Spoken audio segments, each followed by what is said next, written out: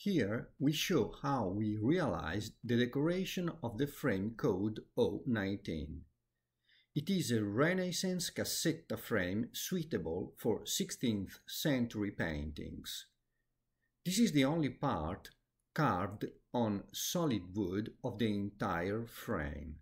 The other ornaments are made of wood pulp, a material similar to wood which allows us to speed up the carving procedure.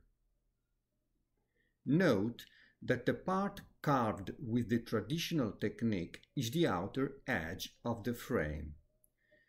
Since this is a rather tall part of the frame, we made it out of wood to obtain greater solidity for the entire structure. The decoration represents a typical Bolognese carving called ventaglia.